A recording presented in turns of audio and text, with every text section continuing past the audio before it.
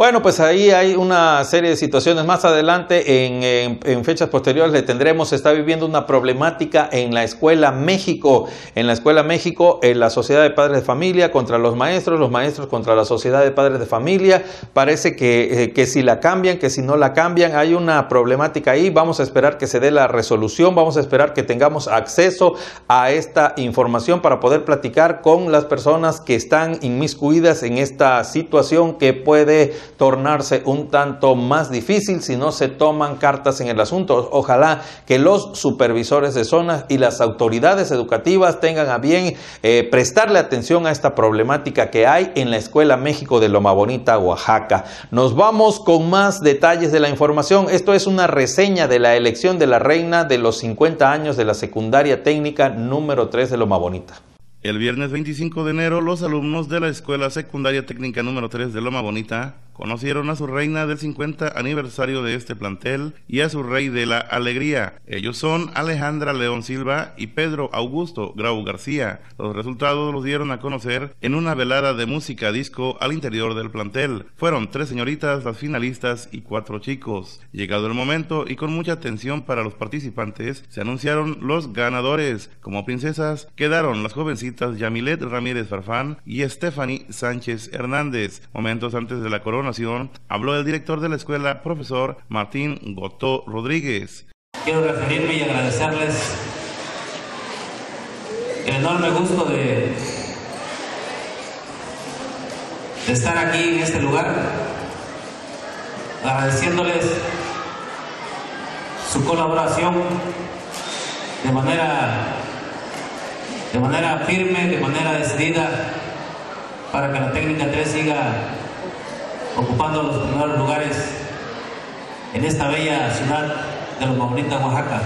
Comentó que los fondos recabados se aplicarán en la rehabilitación de un salón de usos múltiples. Cabe mencionar que la ganadora del título Señorita 50 aniversario aportó un total de 13.256 pesos, mientras que el Rey de la Alegría logró juntar 10.714 pesos. La princesa Yamilet Ramírez Farfán fue coronada por el director de la escuela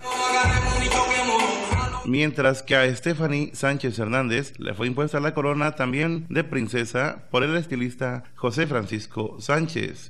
La imposición de la corona real de los 50 años de la secundaria técnica número 3 a la señorita Alejandra León Silva fue realizada por la reina de la Feria de la Piña 2012, Evelyn Tobar Osorio. Instantes después, la soberana del plantel emitió palabras de agradecimiento.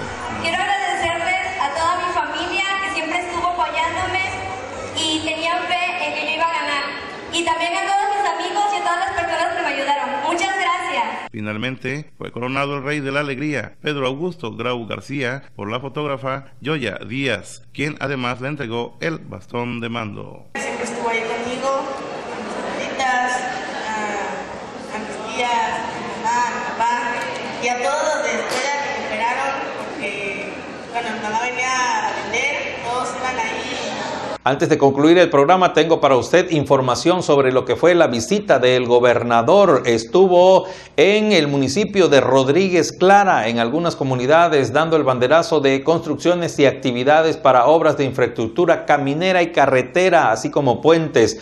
En Rodríguez Clara, en Isla Veracruz, estuvo también para darle el banderazo de inicio a lo que será la autopista Isla Los Tuxtlas, Isla Los Tuxtlas, esta autopista que eh, podrá realizarse un promedio de 30 a 40 minutos de transporte en los 57 kilómetros. En su primera etapa se construirá nada más y nada menos que 20 kilómetros y tendrá un costo aproximado de 1.200 millones de pesos, así lo dio a conocer el gobernador del estado. Y para satisfacción de todos los usuarios, esta carretera, esta autopista, será completamente gratuita. Estará llegando hasta lo que es el municipio de Santiago Tuxtla y culminando en lo que es el municipio de Isla Veracruz. Así están los detalles de la visita del gobernador del estado y pues bueno, estuvo en, eh, en Isla Veracruz.